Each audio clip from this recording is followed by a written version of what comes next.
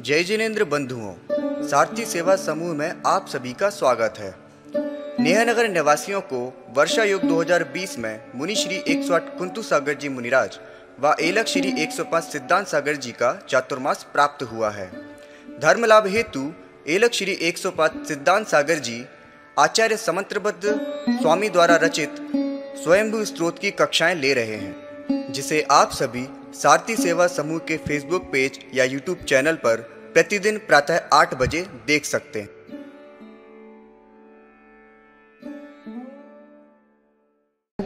दयोदयाय मिथोनपेक्षा super प्रणसिना तयेव तत्त्वं विमलस्ते मुने। परस्परेच्छा सुपरोपिकारिण। यथैके साका रकमर्थ सिद्धे समीक्ष शेषं सुसहायकारकम्। तथैव सामान्य विशेषमातिका नयास्तवेष्टा गुणमुखकल्पता परस्परेच्छा न भेदिलिङ्गिता प्रसिद्ध सामान्य विशेषयोस्तौ समग्रतास्ति सुपरावकाशिकं यथा प्रमाणं बुबुद्धिलक्षणं विशेषवाच सुविशेषण वचो यतो विशेषं विनियम्ते च यत् तयोश्च सामान्यमत प्रसज्यते विवेक्षितास्यादितेन वर्जिनं। नयस्तव स्यात् पदसत्लाञ्छिता रसोऽपि वेद्या युलोदात्ता भवन्तभिप्रेत गुणायतस्ततो भवन्त मार्या प्रणता हितैषिणम् इति श्री विमलनाथ जिनेन्द्राय अनंत दोषा सविग्रहो ग्रहो विषङ्गवान्मोयमयश्चिरं हृदि यतो जितस्तत्तु तया ततोर्भूर्नमानन्त्यजित् कषाय नाम्नां दुष्टां प्रेमार्थिना मशेषे अन्नाम भवान् शेषवित् विशोषणं मन्मथ दुर्मदामयं समाधिभैष जिगुणैर्विलीनीयन् परिश्रमाम्बुर्भवीचि मालिनी त्वया सुतृष्णा सरिदारि शोषिताय असङ्गघर्मार्क गवस्ति तेजसा परं ततो निर्वितिधाम तावकं सुहृत् श्री श्री तुम सुनुते तो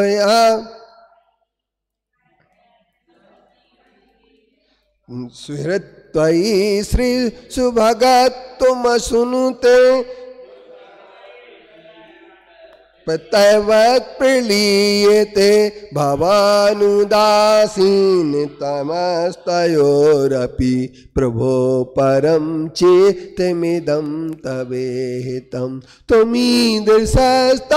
दिशित्ययमुमं प्रणापुले सोऽल्पमतेर्मामुनि अशेषमात्ममनीर्यन्नपि शिवाय संस्प बोधे इति श्री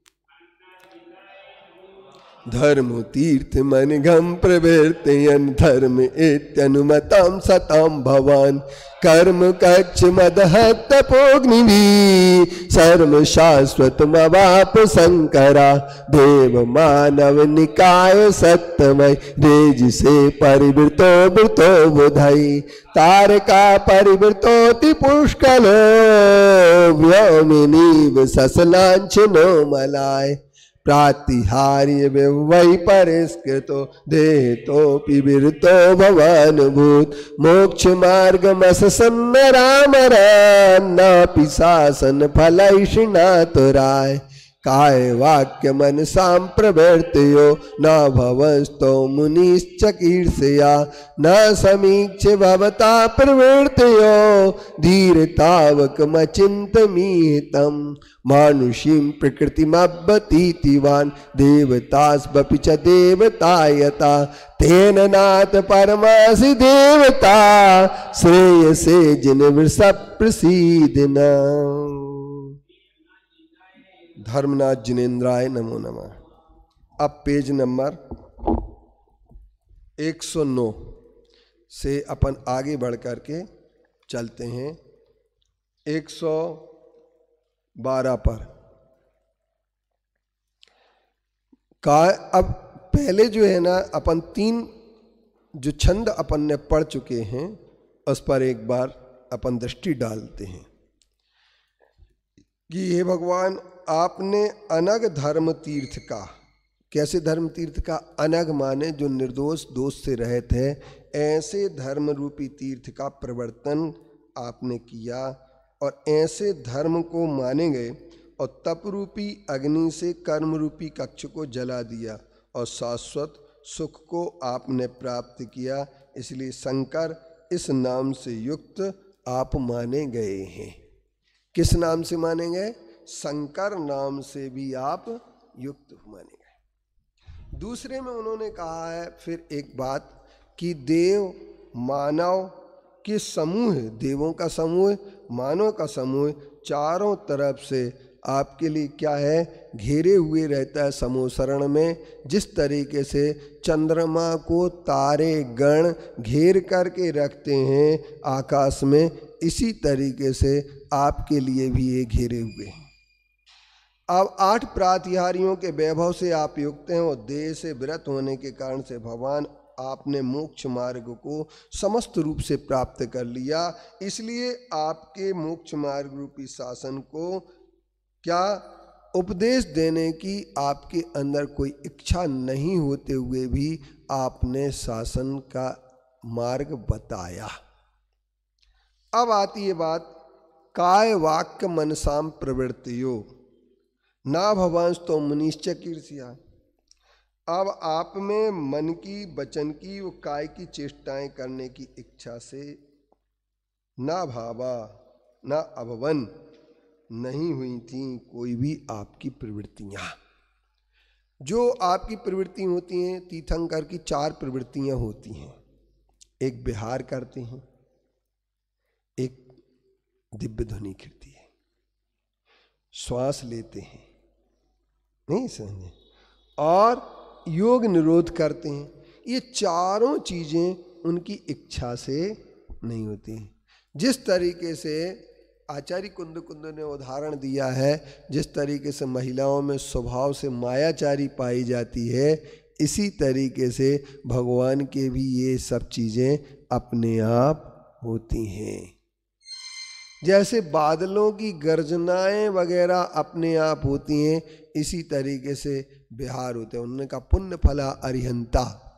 आचार्य कुंद कुंद देव ने कह दिया, ये अरिहन तत्व का जितना भी वैभव है, ये पुण्य का फल है और पुण्य के फल के कारण से अरहन तत्व मिल रहा है, पर उनकी इस पर कोई भी इच्छा नहीं है। तो मन, वचन और काय की चेष्टाएँ नहीं होते हुए भी उनकी प्रवृत्तियाँ होती हैं। वो कौन सी प्रवृत्ति होती हैं? एक तो धर्मोपदेश की प्रवृत्ति होती है, दूसरे बिहार की प्रवृत्ति होती है, तीसरी श्वास की प्रवृत्ति होती है और चौथी, उनकी प्रवृत्ति कैसी होती है? चौथी प्रवृत्ति कर्म, और योग निरोध की प्रवृत्ति होती है। अब ये सब चेष्टाएँ जो हैं असमीक्षकारी हैं, न समीक्ष। इसकी कोई समीक्षा नहीं की जा सकती, क्योंकि उनकी करने की इच्छा से दूर हैं।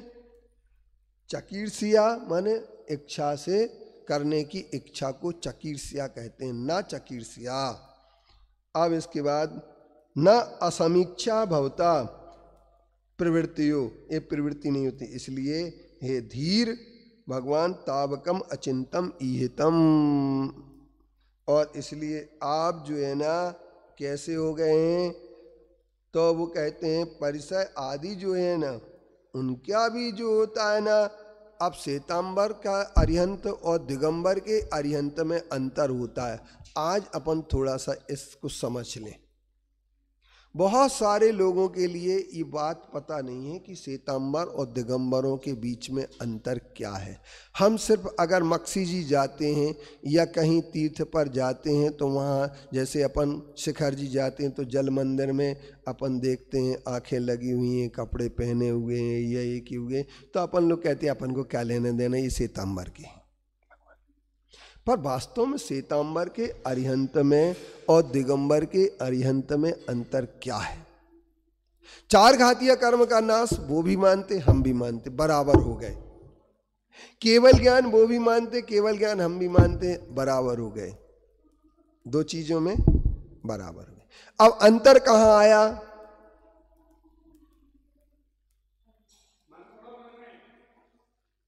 कोई बात नहीं, उन्हें पता नहीं था कि प्रवचन हो रहा है। तो अब इसमें क्या हुआ? इसमें हुआ ये हो कि मन अपना जो होता है, अपने मन में और अरिहंत देव के मन में तो वो कहते हैं भगवान को भूख लगती है। अरिहंत भगवान को भूख लगती है सीतांबर कहते हैं। दूसरे नंबर वो सीतांबर एक बात कहते हैं कि महिलाएँ भी अरिहंत बन सकती हैं। दिगंबर कहते हैं, महिलाएँ कभी अरिहंत नहीं बन सकती हैं। श्वेतांबर क्या कहते हैं, महिलाएँ भी अरिहंत पद को प्राप्त कर सकती हैं। तीर्थंकर बन जाए, अरिहंत बन जाए, और वो कहते हैं, अरिहंत के बीमारी हो सकती है। और दिगंबर मत ये कहता है, अरिहंत को कोई बीमारी नहीं हो सकती है। वो कहते हैं, अरिहंत पर उपसर्ग आ सकता है और हमारे यहाँ कहते हैं, अरिहंत उपसर्ग नहीं करते। वो कहते हैं, श्वेतांबर लोग भगवान सो सकते हैं, अरिहंत भगवान। और दिगंबर लोग कहते हैं कि भगवान कभी सो नहीं सकते हैं। एक दिन हमारे संदीप जी ने भजन गाया था और उन्होंने ये कहा था, कौन कहता है कि भगवान सोते नहीं हैं सुला करके तो देखो। क्या कहते हैं? तो एक सज्जन ने कहा कि नहीं महाराज जी, उनने कोई गलत नहीं बोला है। वो भगवान के बालक की बात कह रहे हैं, लेकिन बालक को भगवान की उपाधि नहीं मिल सकती है। बालक बालक रहेगा, भगवान भगवान रहेंगे। तो भगवान कौन होते हैं? जो बीतरागी, सर्वज्ञ, हितोपदेशी हो जाते हैं, जिनके अरिहंतत्व उत्पन्न हो जाता है, उन्हें भगवान कहते हैं। और भगवान जन्म कल्याणक वाले भगवान नहीं होते हैं। गर्भ कल्याणक वाले भगवान नहीं होते हैं। वे बालक होते हैं। बालक तो सो सकता है, लेकिन एक ध्यान रखना, बालक को सुलाने की कोई ज़्यादा महत्वता की बात नहीं है, क्योंकि हम उस बालक को तो नमस्कार भी नहीं करते हैं। अच्छा एक बात बताओ, जब पंच कल्याणक होते हैं, सुमत भैया आप कौन से कल्याणक से मूर्ति को नमस्कार करते हैं? तब कल्याणक से। इसके पहले नहीं करते। क्यों नहीं करते? क्योंकि अपन उसके पहले तक तो प्रक्रिया वो भी चलती रहती है कभी कभी प्रशस्ति लेखन की। तो प्रशस्ति लिखने वाला कैसे दबा लेता मूर्ति को? तो मूर्ति हमारे यहाँ पूज्य नहीं है। हमारे यहाँ मूर्ति पूज्य नहीं है। किंतु जब उसमें पंच कल्याण के माध्यम से भगवतत्व के संस्कार आ जाते हैं, तब जाकर के वो मूर्ति पूज होती है। इसलिए दिगंबर के भगवान वो कहते हैं, शरीर सहित मोक्ष चले गए अरिहंत, और हमारे यहाँ शरीर यहीं छोड़ करके अरिहंत मोक्ष गए हैं, सिद्ध में परिवर्तित हुए हैं। अरिहंत के दो गुण स्थान होते हैं, एक तेरहवा गुण स्थान सहयोग केवली का, और दूसरा अयोग केवली का गुण स्थान दो गुण स्थान होते हैं। तो ये श्वेतांबर दिगंबर चला कब से? एक अपन पाँच मिनट की छोटी सी चर्चा कर लें। आज अपन इस चर्चा करने को बैठे ही हैं तो बहुत सारे लोगों को ये बात पता नहीं है कि सीताम्बर और दिगंबर का कैसे लफड़ा, ये क्या मामला है। तो आज मैं आपके लिए एक बात बता देना चाहता हूँ कि मामला कुछ भी नहीं है, मामला सिर्फ़ अकाल की उत्पत्ति है। जिस समय भारत के सम्राट चंद्रगुप्त मौर्य का शासन चल रहा था, उसी समय बारह वर्ष का अकाल पड़ने का प्रसंग आया। तो आचार्य भद्रबाहु स्वामी ने अपने संपूर्ण शिष्यों से कह दिया कि कोई भी शिष्य यहाँ नहीं रुकेगा, क्योंकि बारह वर्ष का भीषण अकाल पड़ने वाला है और इस अकाल में आपकी साधना पद्धति बदल सकती है, बिगड़ सकती है, परिवर्तित हो सकती है। तो सारे जो शिष्य थे, उनके पीछे दक्षिण भारत की ओर चले गए, क्योंकि उत्तर भारत में अकाल पड़ा था, दक्षिण भारत की ओर चले गए। लेकिन कुछ श्रावकों ने अपनी महानता दिखाई और वजनदारी दिखाई कि हमारे पास इतना वैभव है, इतना धन है कि 12 साल नहीं 120 साल का भी अकाल पड़ जाए तो हम कहीं कोई कमी नहीं आने देंगे। इस आश्वासन के सामने संत साधु झुक गए। कौन झुक गए? संत साधु झुक गए और उत्तर भारत में भद्रबाहु स्वामी के कुछ शिष्य रुक गए। उनका नेतृत्व किया था। किसने किया उनका नेतृत्व? तो उनका नेतृत्व जो करने वाले साधु थे, वे थे कुंद कुंदाद आचार्य तो भद्रबाहु के सस्य हैं। कुंद कुंद आचार्य और एक और पढ़ते हैं तो वो क्या पढ़ते हैं? अपन बोलते कुंद कुंदाद्यो और आपने अगर कहीं उसको सुना हो, मंगलम भगवान वीरो, मंगलम गोतमो गणी, मंगलम है कौन से? नहीं, पुष्पदंत नहीं पुष्पदंत नहीं। है स्थूल भद्राचार्य, स्थूल भद्राद्यो। कौन से? स्थूल भद्राद्यो। स्थूल भद्र नाम के उन रुक गए थे और उनके नेतृत्व में कुछ लोग रुके। अब परिस्थितियाँ क्या पैदा हुई? इस पर आप सोचना जरा। परिस्थिति सबके पास धन बहुत था, वैभव भी था सब साधन थे, लेकिन एक चीज़ नहीं थी, कि जनता में होने वाला उथल पुथल हाहाकार रोकने का साधन नहीं था। और परिणाम ये हुआ कि जब साधु आहार को निकलते तो उनके पीछे भीख मांगने वाले बहुत सारे लोग निकल पड़ते थे। तो जब भीख मांगने वाले रोते, चिल्लाते या कुछ भी करते तो उनके लिए दें या महाराज जी को आहार दें, ये समस्या बहुत बड़ी ब्रॉड रूप में खड़ी हो गई। तो श्रावकों ने निवेदन किया कि महाराज, आप जो है ना, रात में ले जाया करें और फिर बैठ करके खा लिया करें। आखिरकार ये उनने स्वीकार कर लिया। यहीं से शिथिलाचार का प्रारंभ हो गया और साधु रात में जाएँ और दिन में खा लें, ला करके। लेकिन फिर एक बात आई कि नग्न रूप में थे तो लोग डर जाते थे। एक श्रेष्ठी की गर्भवती पत्नी का गर्भपात हो गया। उनको देख कर के डरने के कारण से अंधेरे में तो परिणाम ये निकला कि उनसे ये कहा कि अब आप एक चेलक धारण कर लें। क्या धारण कर लें? चेलक और उनने वस्त्र धारण कर लिए और वस्त्र धारण करके वो श्वेतांबर हो गए। अब क्या हुआ कि जब बहुत समय बीत चुका और श्रवण बेलगोला में आचार्य भद्रबाहु स्वामी की संलेखना हो गई, क्या हो गई? जब संलेखना हो गई तो उस समय क्या हुआ कि भद्रबाहु आचार्य के शिष्य, विशाखाचार्य पुनः उत्तर भारत में बारह वर्ष के बाद जब लौट के आए तो उन्होंने संबोधन दिया कि ठीक है, एक विपत्ति थी, उस समय आपने जो शिथल मार्ग अपनाया, वो उस समय के लिए स्वीकार किया जाता प्राश्चित लेकर के और पुनः इसी मूल धारा में आप जुड़ जाएँ।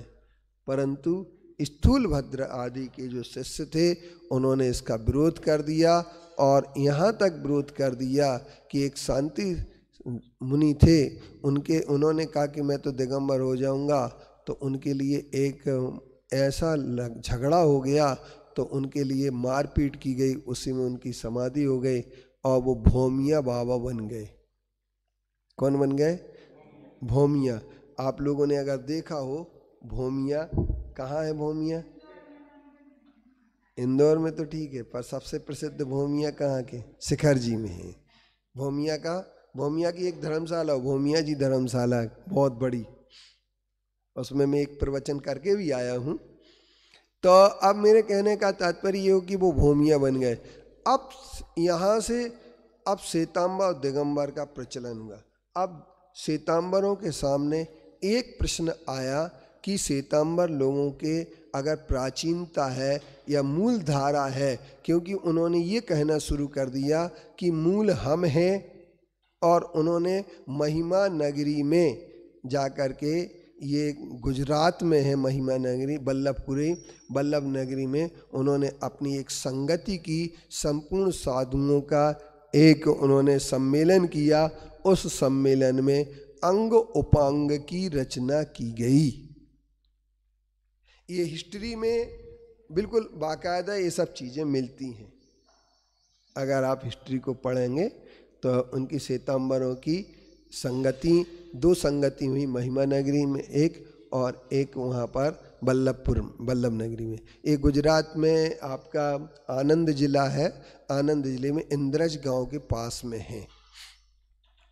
अब हमारे सामने ये बात आती है कि जब उन्होंने ये अपने शास्त्र तो बना लिए, पर उनके सामने एक समस्या रही कि अगर प्राचीनता मूल्य धारा की है तो तीर्थ कहाँ है आपके? तो उनके पास तीर्थ नहीं थे। तो उन्होंने एक, अभय देवसूरी इनके हुए, उन्होंने एक विविध तीर्थ काल्प नाम की एक पुस्तक बारहवीं शताब्दी में लिखी। और जितने भी दिगंबर तीर्थ थे, सब तीर्थों को श्वेतांबर घोषित कर दिया। और उन्होंने एक सील सागर नाम के इनके आचार्य थे सील भद्र जी। उन्होंने भी जो है ना, क्या किया कि उन्होंने भी एक अपना रूप बता दिया और रूप क्या बता दिया? उन्होंने भी एक यात्रा करके और सारे दिगंबरों के तीर्थों को जैन श्वेतांबर घोषित कर दिया। लेकिन ये 1200 साल 700 साल पहले जो काम किया था उसका रिज़ल्ट उन्होंने 19वीं शता बीसवीं सदी में प्रारंभ किया तीर्थों पर कब्जा करने का। कब किया? बीसवीं। अब ये दिगंबर और श्वेतांबर जब बने तो अब उनने एक कहानी रची कि हम प्राचीन हैं श्वेतंबर और दिगंबर अर्वाचीन हैं। तो उन्होंने कहा कि एक सहस्र मल्ल नाम के एक राजा थे और उन राजा ने क्या हुआ कि शिवभूति नाम के एक मुनि हुए थे। उन शिवभूति मुनि ने क्या किया कि वो अपने घर में रहा करते थे तो घर में रहते थे तो देर रात से घर में जाया करते थे। तो उनकी पत्नी जो है शिकायत किया करती थी कि ये देर से आते हैं तो एक दिन उनकी सास ने कहा, तुम आज सो जाओ, हम उनसे बात करेंगे। जैसे ही वो देर रात में आए तो उनसे कहा, जिसका दरवाज़ा खुला हो, उस दरवाजे, उसके घर चले जाओ, यहाँ कोई जगह नहीं है। तो वो जो है श्वेताम्बरों का उपाश्रय खुला हुआ था, वहाँ पर जाके सो गए, और श्वेताम्बर साधु ने उन्हें समझाया तो वो मुनि बनने तैयार हो गए। और उन्होंने मुनि बन कर के श्वेताम्बर साधु बन गए। लेकिन एक दिन क्या हुआ कि एक कौआ एक रत्न जड़ित कम्बल उठा कर के तो अब वो क्या हुआ, जूती लाया। तो एक दिन वो फिर लौट करके उसी नगरी में आए। उसी नगरी में आए तो सहस्रमल राजा ने उनका स्वागत किया और उनके लिए एक रत्न जड़ित कंबल दे दिया। जब रत्न जड़ित कंबल दे दिया तो वो श्वेतांबर साधु जो थे, उन्होंने उसे स्वीकार कर लिया। तो उनके स्थिर कल्पी साधुओं ने उन्हें समझाया कि रत्न जड़ित कंबल तुम्हें नहीं लेना चाहिए, क्योंकि ये परिग्रह है। तो उन्होंने कहा, ये जूती जो है ना, जब रत्न जड़ित पहन सकते, रख सकते हैं तो हम कंबल क्यों नहीं रख सकते हैं? और उन्होंने फिर उस गुस्से में आकर के दिगंबर रूप धारण कर लिया और उन्होंने बताया स्थिर कल्पी ने कि पहले तो हमारे जो साधु होते थे, दिगंबर होते थे, नग्न दिगंबर रूप में साधना करते थे, लेकिन समय काल की परिस्थिति से ये श्वेतंबर बन गए। तो उन्होंने कहा, जब पहले दिगंबर थे तो शिवभूति ने भी दिगंबर पंथ चला दिया। इसके पहले दिगंबर पंथ नहीं था। ये श्वेतांबर लोगों ने अपनी कहानी फ़ेमस की। लेकिन अब इसमें बहुत सारे प्रश्न ये आ जाते हैं कि जब वो कहते हैं, शिवभूति से जिन स्थिर कल्पी ने ये कहा कि श्वेतांबर दिगंबर मत पहले था और पहले दिगंबर साधु नग्न रूप में साधना करते थे। तो ये तो बात हो गई कि श्वेतांबर से पहले दिगंबर थे। अब दिगंबरों ने और श्वेतांबरों के बीच में जो अंतर आया तो आचार्य कुंद कुंद देव ने एक ग्रंथ रचना की, जिसे सूत्र पाहण कहते हैं। अष्टपाहण के अंतर्गत एक सूत्र पाहण है और सूत्र पाहण में आचार्य कुंद कुंद देव ने इनके लिए उत्सर्ग मार्गी ना कह करके इनके लिए स्वच्छंद मार्गी कहा और स्वच्छंद मार्गी कह करके यहाँ तक किया कि जो सूत्र का अपलाप करते हैं, उन्हें आहार भी देना जो है ना मिथ्यात्व का कारण है। जब ऐसा उन्होंने कहा और इसके बाद एक बार गिरनार यात्रा को लेकर के दिगम आचार्य कुंद कुंद देव ने और श्वेतांबर के बीच में विवाद हुआ कि गिरनार की यात्रा पहले कौन करेगा? तो आचार्य कुंद कुंद देव ने पहले यात्रा करने का संकल्प लिया और उस समय एक वाद विवाद का जो निर्णय हुआ तो सरस्वती देवी ने आकर के कहा, आद्य दिगंबरा आद्य दिगंबरा। और उस समय दिगंबर आद्य हो गया और पहले दिगंबरों ने यात्रा की, गिरनार की, बाद में यात्रा दूसरे सितंबर आदि ने की। अब इसके बाद क्या हुआ कि ये दिगंबर सितंबरों के बीच में मुख्य अंतर क्या है? तो अरिहंत के स्वरूप को लेकर के अंतर है, मोक्ष मार्ग, मोक्ष स्वरूप को लेकर के अंतर है। वो कहते हैं, महिलाओं को भी मोक्ष की प्राप्ति हो सकती है, महिलाएँ भी केवल ज्ञान प्राप्त कर सकती हैं। और इसके बाद वो कहते हैं, केवल ज्ञान प्राप्त करने के लिए चारित्र लेना ज़रूरी नहीं है। एक कूर्मावत पुत्र इनके यहाँ हुआ है, और वह कूर्मावत पुत्र ने दीक्षा, उसे केवल ज्ञान हो गया। केवल ज्ञान होने के बाद उनके प्रवचन सारोद्धार में एक कहानी आती, आवश्यक निरुक्ति में भी आती है उनके ग्रंथ में कि एक कुर्मावत पुत्र था, उसने दीक्षा ले ली और दीक्षा लेने के बाद उसे केवल ज्ञान, नहीं, दीक्षा नहीं ली, वो केवल ज्ञान हो गया। और जब दीक्षा नहीं ली, केवल ज्ञान हो गया तो वो सोचता है कि अगर मैं चारित्र ग्रहण करूँगा तो मेरे मुँह में माता पिता जो है ना, स्वर्गस्थ हो सकते हैं, इसलिए उसने बिना दीक्षा लिए ही अपना जीवन पूरा निकाला। यानी केवल ज्ञान दीक्षा के पहले हो जाता है इनके मत में। लेकिन ग्रस्त अवस्था में आत्मा की अनुभूति हो जाती है, ग्रस्त अवस्था में केवल ज्ञान हो जाता है, जबकि दिगंबर अवस्था में जब अरिहंत पद की प्राप्ति होती है, तभी केवल ज्ञान होता है। ये दिगंबर पंथ का स्पष्ट सा रूप है। अब इनके यहाँ कहते हैं, भगवान के ग्यारह परिसय होते हैं। श्वेतांबर लोग कहते हैं और दिगंबर लोग कहते हैं, वो ग्यारह के ग्यारह परिसय सिर्फ़ औपचारिक रूप में माने जाते हैं। क्योंकि ये कहते हैं कि जब मोह का नाश हो जाता है तो भूख नहीं लग सकती है। जब तक मोह रहता है, तब तक असाता वेदनी की उदीर्णा होती है और जहाँ मोह समाप्त हो जाता है, मोह का क्षय हो जाता है, क्योंकि दसवें गुणस्थान तक ही मोह चला करता है और अरिहंत अवस्था बारहवें, तेरहवें और चौदहवें गुणस्थान की होती है। बारहवा गुणस्थान क्षीण मोह का होता है, ग्यारहवा गुणस्थान उपशांत मोह का होता है और अपन ये कह सकते हैं कि मोह के नष्ट होने के बाद ही अरिहंत अवस्था प्राप्त होती है। इसलिए उस अवस्था में भूख, प्यास, रोग आदि कुछ भी नहीं हो सकते हैं। उपसर्ग भी नहीं हो सकता है। ये अरिहंत के ऊपर कभी उपसर्ग नहीं होता है। इस तरीके से हम ये कह सकते हैं कि भगवान की जो प्रवृत्ति होती है, वह प्रवृत्ति जो है, कैसे होती है, चेष्टाएँ जो भी होती हैं, वो इच्छा के अभाव में ही होती हैं। इसलिए इस बात को चौथ चौथे काव्य में कहा गया। अब पांचवा काव्य है मानुषीम प्रकृतिमभ्यतीतिवान देवतास बपिच देवता यथा, तेन नाथ परमासी देवता श्रेय से जिन सब प्रसिद्ध न। अब मानुषीम प्रवृत्ति मानुष्य की प्रकृति, क्योंकि मनुष्य की प्रकृति कैसी होती है? अव्यतीतवान। जो आप मनुष्य की प्रकृति को अतीत कर गए हैं, आपके अंदर मनुष्य की प्रकृति नहीं, आप मानव नहीं बचे हैं। आप मानव से आगे महामानव बन चुके हैं। इसलिए देवतास बपिच देवता यथा आप देवताओं में भी देवता है। देवता अकेले नहीं है।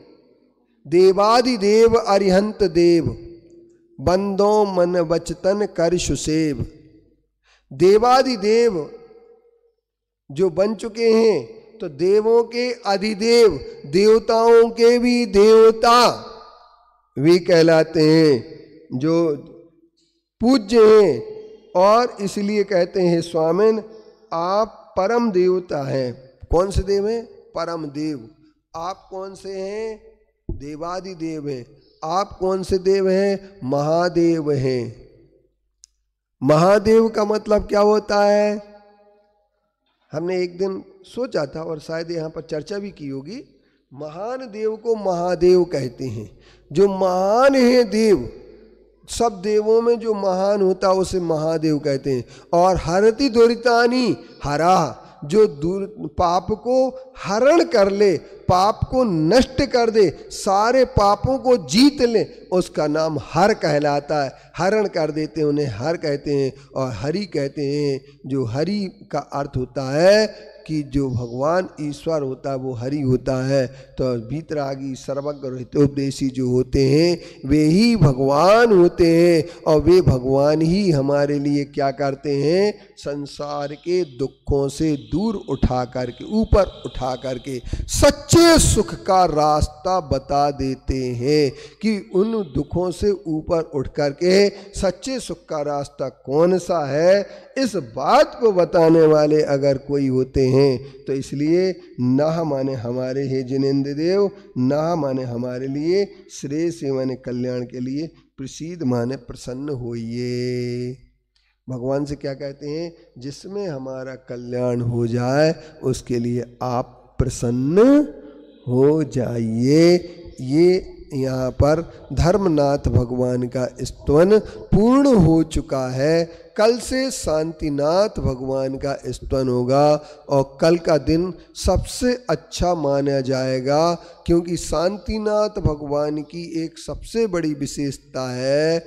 वह विशेषता क्या है कि उनके सामने जो तीर्थ चला वो कभी व्यवच्छिन्न नहीं हुआ। बोले, पंच परमेष्टि भगवान की जय।